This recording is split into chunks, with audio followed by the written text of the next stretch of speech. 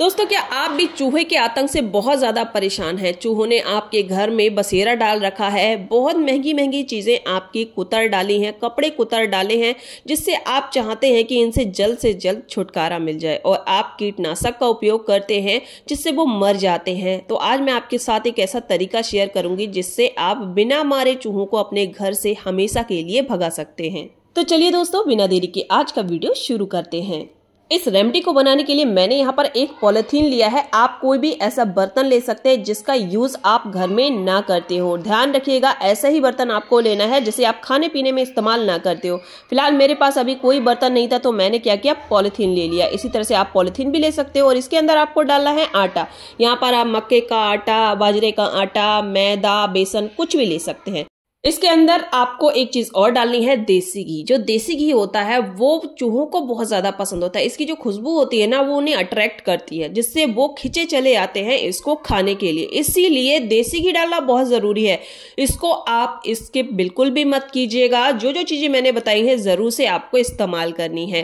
अब अगली चीज़ आपको लेना है यहाँ पर थोड़ा सा सैनिटाइजर कोई भी सैनिटाइजर आप यूज़ करते हो, जो भी आपके पास हो, वो ले लीजिएगा और थोड़ा सा आपको क्या करना है, इस आटे के अंदर मिक्स कर देना है। अच्छा जो आटा है ना, आप अपने हिसाब से बना सकते हैं। आपके घर में ज़्यादा कमरे हैं तो आप ज़्यादा आटा ले लीजिएगा और कम कमरे हैं तो आप यहाँ पर थोड़ा आटा भी ले सकते हैं।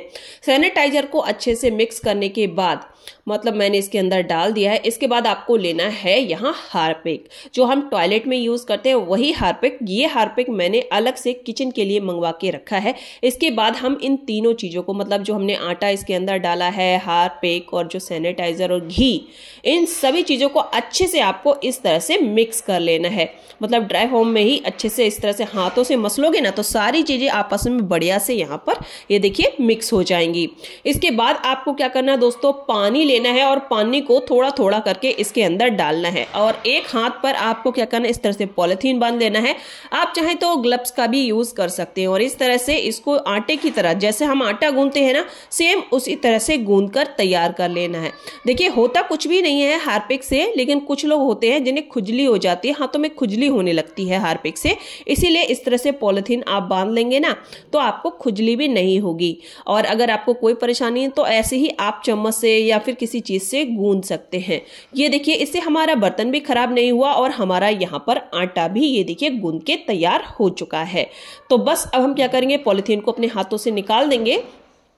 और हम क्या करेंगे दोस्तों, इसकी लोइयाँ बनाकर तैयार कर लेंगे। तो छोटी छोटी गोल गोल लोइयाँ आप बना लीजिए, जितनी भी जगह आपको डालना हो, चार, पाँच छः जितनी भी आपको चाहिए, जितनी जगह आपको डालना है ना, उस हिसाब से आप इसकी गोलियाँ बनाकर तैयार कर लीजिएगा। दोस्तों, हम कीटनाशक का उपयोग करते हैं ना, जिससे कि चूहे मर जाते हैं और इसके बाद हम उन्हें ढूंढते रहते हैं घर में, भाई, कहाँ है, जब बदबू आती है ना, तब पता चलता है। और उन सड़े हुए चूहों को फेंकना ना, बहुत ही ज़्यादा सरदर्दी लगता है, बहुत ही ज़्यादा मुश्किल काम लगता है। बहुत ज़्यादा बदबू आती है। अब देखिए, इसको रात के वक्त यूज़ कीजिएगा, दिन में मत कीजिएगा, ठीक है? रात में ही चूहे सबसे ज़्यादा एक्टिव होते हैं, सबसे ज़्यादा हमारे घर आते हैं किचन में घूमते हैं। तो इस तरह से एक गोली आपको क्या करना है? किचन में रख देना है। किचन में तो ज़रूर से रखिएगा, क्योंकि सबसे ज़्यादा जो चूहे होते हैं ना किचन में ही मंडराते हैं। इसके बाद दोस्तों, हर उस जगह जहाँ पर भी आपको लगता है, भाई, चूहे सबसे ज़्यादा आते हैं, इस तरह से एक गोली आपको डाल देनी है। बच्चों की पहुँच से दूर रखिएगा। मैं फिर आपको एक बार बता दे क्योंकि देखिए, हम कोई कीटनाशक वगैरह लगाते लगाते ना तब भी हम बच्चों की पहुँच से दूर रखते हैं। तो इसको भी आप बच्चों की पहुँच से दूर रखें, इसीलिए मैं बोल रही हूँ, रात में लगाइएगा इसको। एक तो चूहे भी रात में हमारे घर में आते हैं, दूसरा बच्चे भी सो जाते हैं। और सुबह जब उठेंगे तो ये गोलियाँ आपको मिलेंगी नहीं, सारे के सारे चूहे खा जाते हैं और उनके शरीर में ये जो हार्पिक वगैरह है ना, इतना ज़्यादा हीट कर देता है कि वो घर से तुरंत की तुरंत ही बाहर भाग जाते हैं और वो भी बिना मरे। तो बहुत ही अच्छा सा तरीका इस तरह से कोनों में ज़रूर डालिएगा, क्योंकि कोनों में चूहे सबसे ज़्यादा भागते हैं।